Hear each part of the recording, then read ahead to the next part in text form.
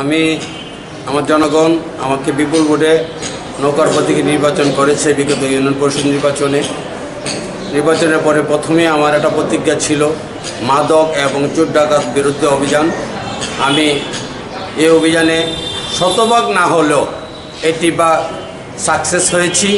আমি একজন এএসআই দ্বারা মার্ডার মানে খুনের মামলার এবং বহু ডাকাতির মামলার মৃত্যুদণ্ড আসামিও দুজন হাতে নাতে ধরে প্রশাসনের কাছে সুপর্দ করেছি। আর করোনাকালীন সময়ে আমার পরিষদের সমস্ত যে মাল পেয়েছি আমি, আমার নিজের তদারকিতে সুন্দরভাবে বিতরণ করেছি।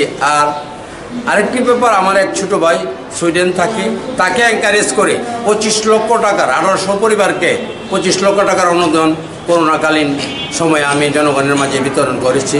সবাইকে ধন্যবাদ। আগামী নির্বাচনে দল যদি মনে করে আমার চেয়ে ভালো ক্যান্ডিডেট থাকে, তাকে দিবে। আর যদি আমার চেয়ে ভালো কেউ না থাকে, আমি দলের কাছে আশাবাদে আমি মনোনয়ন পাবো।